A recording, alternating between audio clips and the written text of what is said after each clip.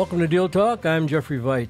And of course, as usual, we're going to be talking about avoiding dealer tricks or buying smart or maybe financing or how to do your trade in, different subjects to help you on an automobile or a truck or a motorcycle or a boat.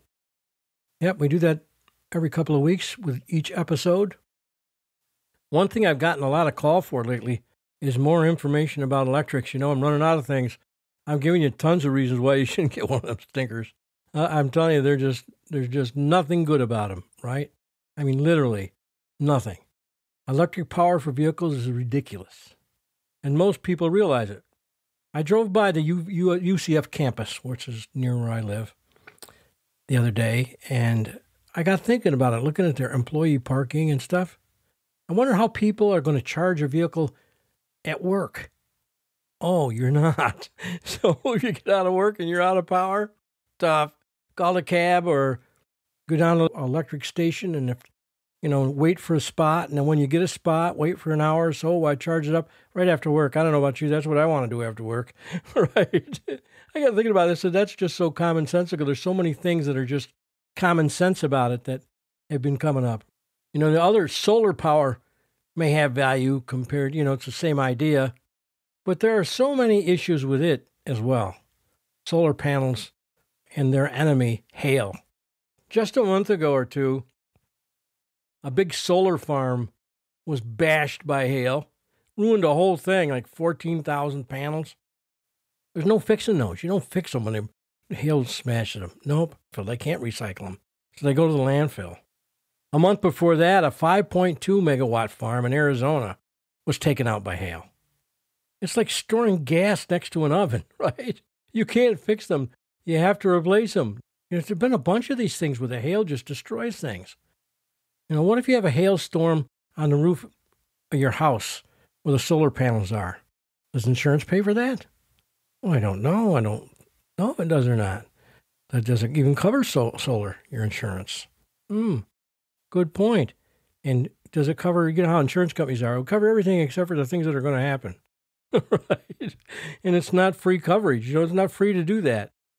Now, not every place has to worry about hailstorms. I can't remember the last time we had one in Florida. We have, but I, it's been a long time, so not so much here. But you get out in the Midwest, it's an issue. Solar certainly makes more sense than electric batteries, no question about that. You know, they've been talking a lot lately about trucks and how they're going to move the trucking industry and that they're going to mandate it. It seems to be the Biden regime's favorite word. We're mandating it. anyway, the, a semi truck, the average semi truck requires two batteries that weigh 8,000 pounds apiece. It takes more power to charge those two batteries than the factory uses that builds the trucks. Yeah, it's crazy. It's just absolute reverse. It's just more, you know, it's like things like I don't talk about, I try not to talk about politics on this show because it's in the news every day and we heard it, but it's like immigration, things like that. It has no bearing of sanity whatsoever, but they want to do it anyway. They've decided that global warming is caused by CO2. It isn't. Look at the scientists lately coming out that are saying, no, no, it's not. I'm telling you, oh, tons of not not people that research, not activists. I'm talking about the scientists, the people that do the scientific research to find out what the possibilities are. None of them think it's being caused by that. And even if it did, you know, we've talked about it before. You got three trillion trees on a planet. You could have three times the amount of CO2 we have now, and those trees could handle it. But anyway, so we're getting a lot of demands. I'm just running out of things to talk about on, on electric vehicles unless we go over the same stuff, which I do from time to time. You know, here's a story a lithium battery at an electric bike shop in New York City caught fire and burnt a building and killed four people. And in New York City alone, since the first of the year, 110 people have lost their lives in electric vehicle fires. New York City. Think about that. That's just one city. These fires are no joke. You know, it's not like a regular fire. It's not like it's a fire and it's hot and we get out. When, a, when an electric battery burns, a lot of times it explodes, but it burns at four or 5,000 degrees, not 1,500. They burn hotter and, and explodes an issue too because that you know you can get killed by something flying thing, right? There are no simple battery fires. Nope, e-battery fires are not simple. They cost a lot in terms of in terms of money and, and just destroys things. You know, if you have a electric vehicle, you're charging it at your house and you've got it in the garage and it's charging and it catches on fire, you might as well just pack everybody up and go outside because you're not putting that fire out. Your house is going to burn down, period. No ifs, ands, or buts. You're not stopping that fire. I mean, those electric vehicles, they cost too much. They're truly dangerous. They don't go far enough on a charge. Plus, the auto industry is trying to come up with a solution to help protect resale value. That's how bad it is. They're trying to find a way because nobody wants these things. It's like buying a used phone. Who wants a used phone, a used iPhone? iPhones are great, but not when they're three years old and the battery's done. Nope, you got to have a battery. They don't work the same without the battery, right? But there's no simplifiers. They're just dangerous. So, and and these things cost fifteen or twenty thousand dollars more than the same comparable vehicle. They have terrible resale value, so really you end up paying, you know, twenty five thousand dollars more because you get way less for it at the end in terms of percentage than a gas vehicle. They have no saving grace, and this doesn't even count the fact that the th- reason you're buying an electric vehicle for global issues it doesn't help, not one lick. It doesn't make any difference. I don't care what Greta tells you, that's not true. It's not going to make any difference, that electric vehicle versus gas vehicle. You, they can control the number of people that have a vehicle. If we go went 100% electric, only one in four people will have a, a vehicle. And they'll be able to co- control how far you go. You can't drive across the country with one. You could if you got a week or two to go. Anyway, that's the, what I wanted to talk about on electric vehicles this week. We'll move on right here. If you like the podcast, please take a couple of minutes and do a review on Apple Podcasts or Google Play or whatever podcast source you use. If you've already done a review, thanks so much. Be sure you tell your friends and family about the podcast. They'll save you money and they'll save themselves money and grief, and you'll be the hero. Those of you who'd like some written material to carry with you when you're out shopping, Get a copy of The Informed Buyer from Amazon or Barnes & Noble Nook. It's great notes so you don't forget to do something or check something right. They'll give you the basics for quick reference. You don't have to fast forward through the podcast, whatever edition that you're thinking of to get to that point because you'd have to know what particular episode it was. But it'll give you stuff for quick reference. And again, like I've talked about many times, they cost three bucks. Three dollars. You can get this thing for $3, this little booklet. Think about that. Download it to your phone or your tablet or whatever for $3. How can you go wrong? Think about that. $3. Just so simple. Well, this week I thought we'd talk a little bit about the people that are going out to buy a vehicle, that are first time buyers, you know, others that are experienced and, and have credit problems. What do people do, especially right now?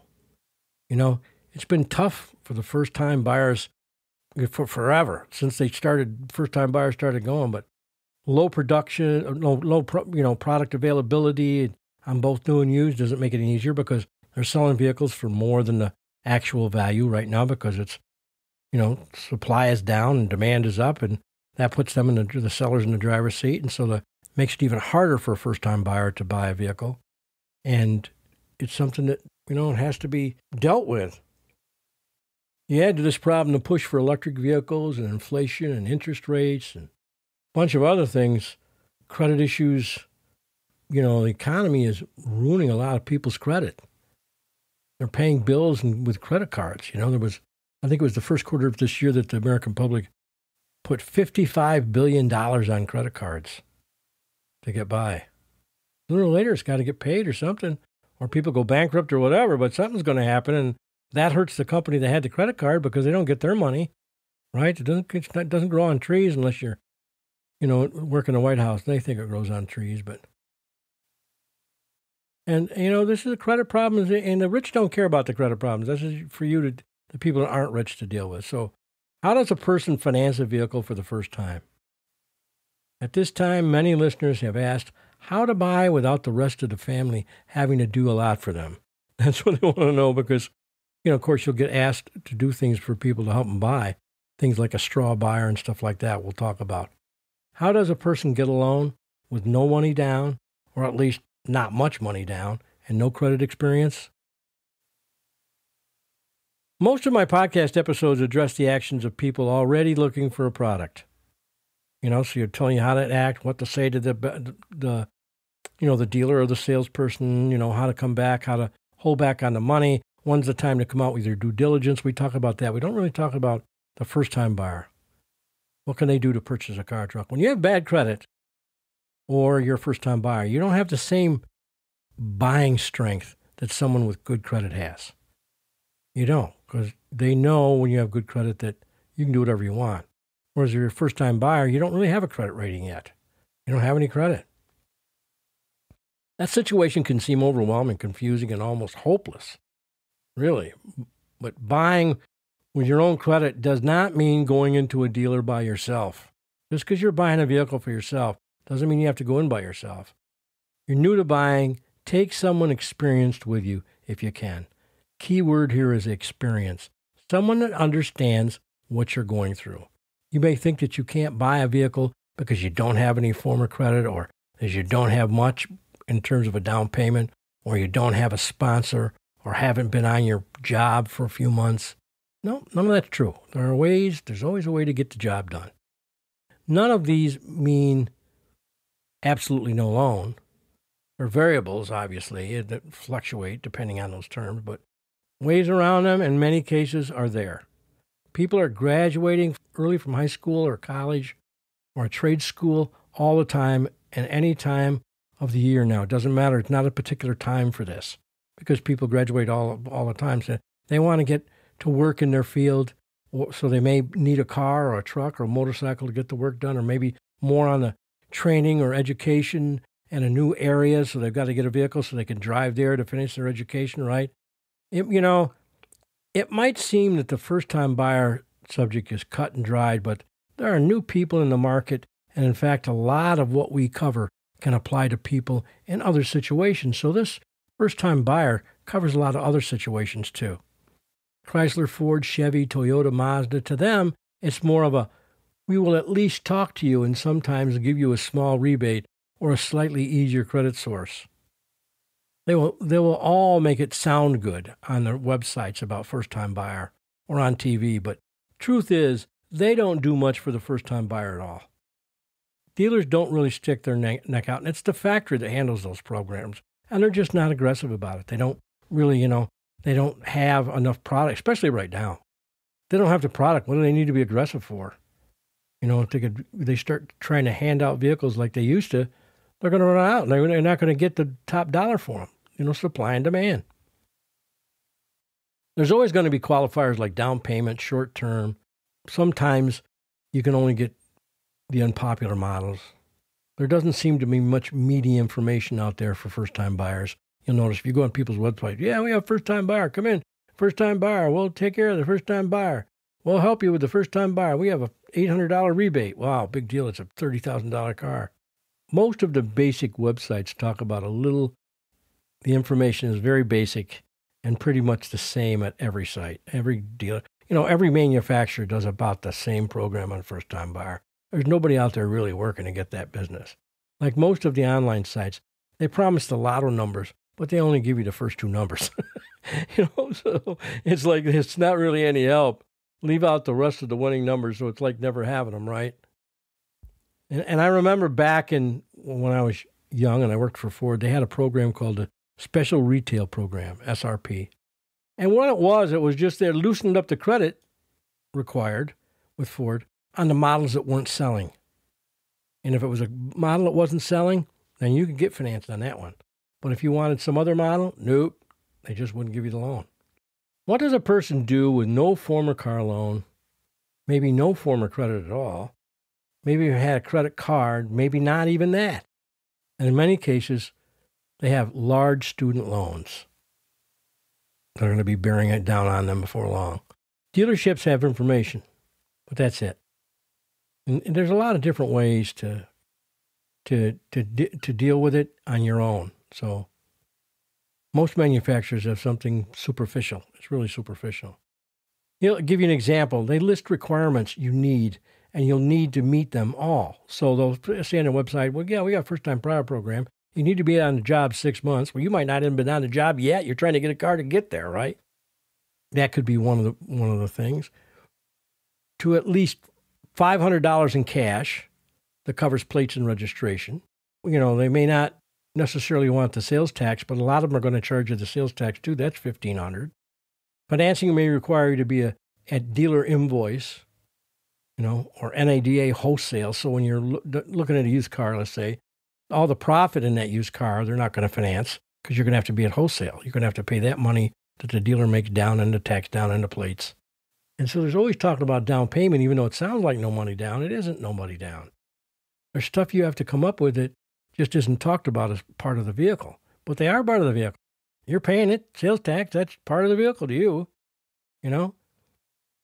You can't have any form of bad credit. If you have no credit and you have some bad credit, let's say you're a first time buyer and you have only thing you've ever had is a credit card you didn't pay right, you're done. Sorry. Yep, you can't have any form of bad credit. That you've already set the that's so important that if you get a credit card when you're young and they give you the first time you give you credit, you need to be perfect on it. Literally. Payment to income ratio has got to be, you know, 15 to 20%. Your new job pay will need to provide about five times the vehicle payment. So, in other words, if you're looking at a vehicle that's 350 a month, they're going to expect you to be making 2000 a month net. Total debt for all the bills not over 50%. So if you if your bills come to more than 50% of your income, they're not lending you money. Occasionally a college grad rebate will come up for people who are college grads, but it's a small nick in the payment, right? And you know, there's there's things that talk about your character without you knowing it. Those can make a difference. That's why college graduates they have a rebate because those people have gone through the trouble of going to college. They're more likely to pay, they think. Although statistically that's not true, but that's what they think when they drew up these programs. What does a person just starting out do, right? First, you figure out what you can afford and what vehicle will meet your basic needs. You got to do that. Like in all parts of Deal Talk, we talk about picking out a vehicle, figuring out your budget, not talking price with anybody. That's got nothing, don't even get into that. You're just picking out the vehicle, just what you need. You don't want to, you know, in your first time buyer, it's not the time to be worried about mag wheels and sunroofs. Really, that's not smart. That just makes it that much harder to get the loan. You just want to figure out what you need to get by, what'll get handle your things, all the needs that you have and the passengers you have and things like that. What do you need to get the basics? Now, once you're approved, nothing could say that you can't say once you're approved to say, well, how about now that I'm approved? How about would they do it on this vehicle instead? And you can find out that way. But to start off with, to get an approval, you want to stay basic on just sensible vehicle that'll get the job done. You can worry about the other stuff later. When it comes to bank loans, the more risk, the higher the interest rate. And usually the shorter the term they give you to pay. Before you go to a dealer, go to the banks and find out what is available. How much can you borrow? What are the conditions they want that you can count on? No matter what the bank tells you, remember each bank is just one answer, and answers can vary dramatically. Banks don't answer on loans or approve loans in the same method. I've seen banks where, where you've got five different answers from five different banks. That's no baloney because they're that's just it's subject to people. That's who make those decisions, not machines. You might find a 20% down or a limit of wholesale book on a used vehicle or a limit of dealer invoice on a new vehicle is required by the banks. Plus, you need a job before the loan is accepted. So, not having a job will be a disqualifier in most cases if you don't have one. But a letter from an employer that says, if you get out here and move out here, we'll give you a job. That's a letter of commitment. That's like having a job. It may get it done. Yep, a letter of commitment may get your loan done. This can help in many situations. Terms may be shorter on that loan, right? Like 48 months instead of 60, a little higher payment. So that what happens is the car's paid off faster, and that keeps the debt or the amount you owe in line with the depreciation. So they're always going to be able to get somewhere near what they loaned against it for it if they had to repossess it. They want the principal to be paid off at the same rate as the depreciation. And most banks, right? Go to at least three banks minimum. More is better. definitely. Once you know the bank terms, you can go to the dealer and negotiate from a position of an approved buyer instead of a position of help me. I mean, if you got a bank that's going to lend you the money for four years, this amount of money, and you got to be near wholesale, now's the time you can go back to a dealer and, and you've got now you've got weight because you don't, don't need them to get approved. So now you can deal from a little different position than you would if you had, were depending on them to get you the loan too. Even if the bank shut you out, still go to the dealer anyway. And I'll tell you why. Who knows what kind of influence that dealer might have on a lending institution? You know, there's a lot of positives in that. And you, if you can't get your own money, to have the dealer try to, because a lot of times the dealer has his floor plan with the bank. All of his cars are financed with the bank anyway. And he calls the banker and says, "Hey, man, we need some help on this loan. This is a deal I could use." So, and now a lot of times that pressure will just say, "Okay, we'll approve it, but you got to come up with this and that."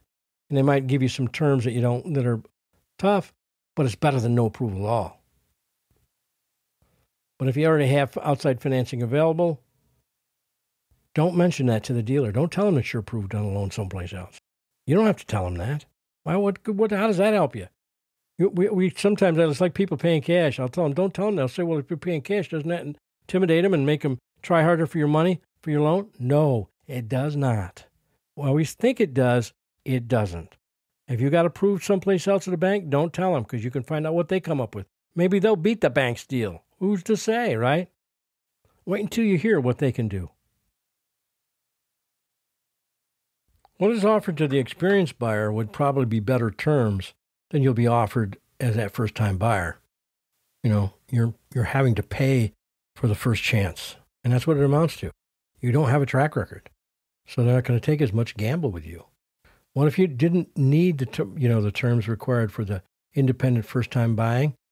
You can meet the down payment and upfront dollars required, or you don't have the job yet, or your income ratios aren't what they've required, or you know, there's a lot of things can get can put you in a position where you can't get the loan.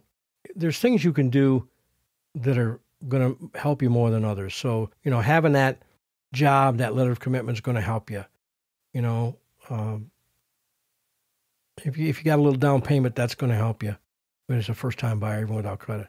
But what'll help the most, the thing that trumps all of this, first time buyer, or for even somebody with bad credit, is a cosigner. Someone with good credit who'll guarantee your loan payment by agreeing that if you don't pay, they will. They call that a cosigner. That is definitely the best way to go for a first time buyer if it's possible. One big advantage of a cosigner is the terms of the loan would be determined by the cosigner's credit. So if you get a cosigner, they're not going to they're not going to get a take a cosigner and give you the, the terms of a first time buyer. You're going to get that better interest rate and things in a little longer term if you have a cosigner because the bank doesn't have the threat they had of you being a first time buyer. They've got that cosigner, somebody with good credit that says they'll pay if you don't. And that that works. It also makes leasing possible. You can't lease as a first time buyer, but you can if you have a cosigner. And if you got cash without cash to put down, a lease is probably a better way to go anyway. Another advantage is that with prior approval of a loan, you could negotiate in, in comparison shop much harder. Cosigners are the best answer to a credit issue, but they can be difficult to come by. So if you got a cosigner, you know you're going to get approved.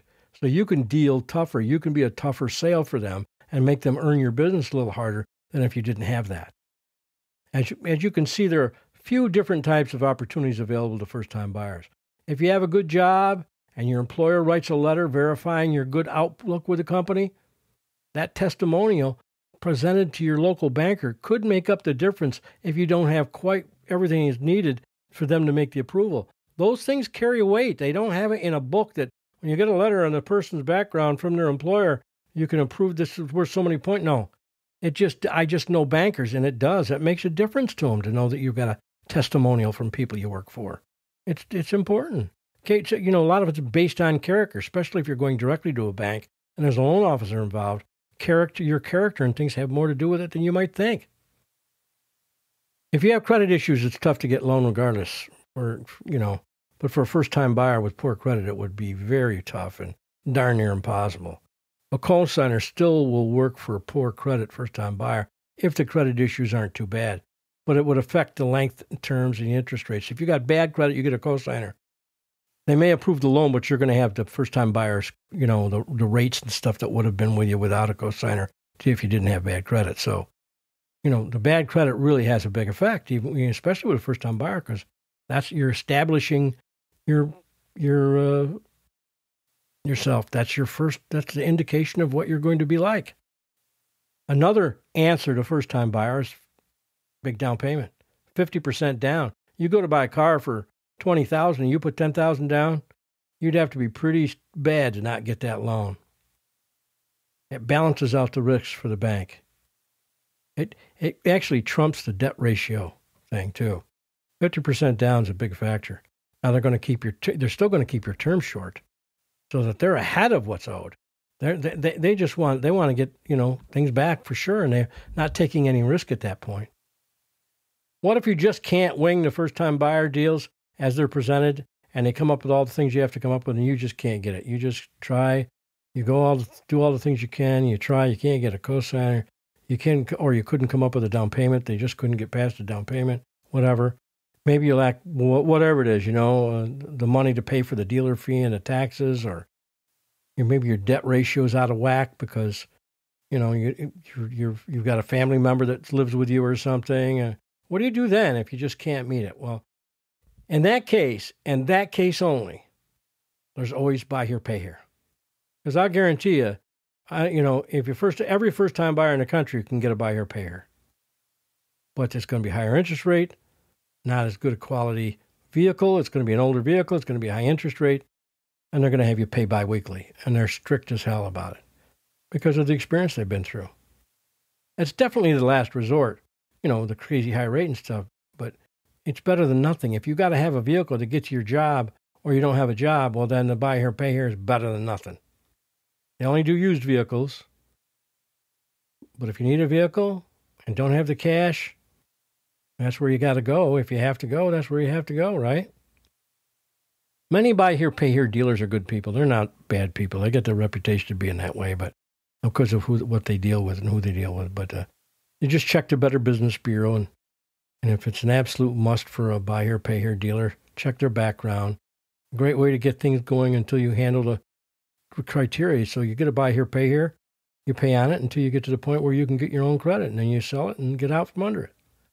Another answer to your problem, first time buyer, is to get a cash used vehicle.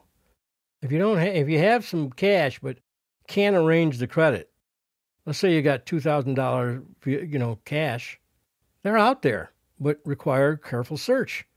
Follow the ideas on the episodes about buying a low priced used. I've covered them on a couple of different episodes. 2000 cash. And they're out there and you can get some cars that are okay at $2,000 that'll last you at least long enough for you to be able to get yourself in a position where you can buy something.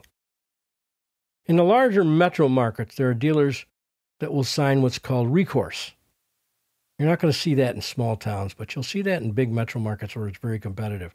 Recourse means they're telling the bank they'll co-sign, and the dealer agrees to repossess and pay off the loan to the bank if you do not pay. So what they're saying is, okay, well, if he doesn't, this customer doesn't pay, we're going to pay off the loan take the car and we're going to and we're going to sell it, do whatever with it, but you won't have to. The bank won't have to worry about it. I mean, why would a dealer do that? Right? The obvious answer is a huge profit on the vehicle you buy. That's one reason they get are making a big profit on the vehicle, so they're going to do it that way. And you're usually limited to used vehicles because the dealer owns those. In most cases, new vehicles are on floor plan. They're financed with a bank, but a lot of times the used vehicle inventory is paid for. So they're going to do it on that one. They're outside outright purchases, and so the risk is, you know, affordable. And that's why they'll do that. They'll sign a recourse with a bank. Doesn't mean you're definitely going to have it, but the bigger markets, big metro markets, will have recourse dealers. You know, they're pretty strict, and it's going to be not going to talk about price or anything with you. You're just going to pay whatever the because it's all that's going to be ruled by the bank. So they can't charge you way too much, too much because the bank has limits to that, right? Even if they're going to co-sign, they don't. Banks don't loan money planning on repossessing or buying back or all that stuff. They don't want to go through any of that. They don't want any of that. They want a situation where nothing ever happens except they get paid monthly like they're supposed to, and that's what they're looking for. There are key points for a first time buyer. Number one, figure out your absolute for sure budget. How much can you actually afford? Next, what minimum in a vehicle is required? What do you absolutely have to have? Do you have to have five sets of seat belts? Okay. You have to have four doors? Okay. But you don't have to have a sunroof. You don't have to have a stereo uh, system, a fancy stereo system. You don't have to have mag wheels. Keep it simple. What's the minimum you could get away with? What options would be nice but not required? You can make a list of those, but they're not required, so you keep those separate. Strengthen your credit worthiness with an employer letter. If you can get a letter from your employer saying how good you are, get that. That's powerful stuff. No question about it. Other testimonials can help too. like, for instance, if your minister of your church will, will write a letter about you, or someone else that's well known in the community that owns a business, maybe, that'll help you. Is a cosigner possible? There's nothing more powerful than that.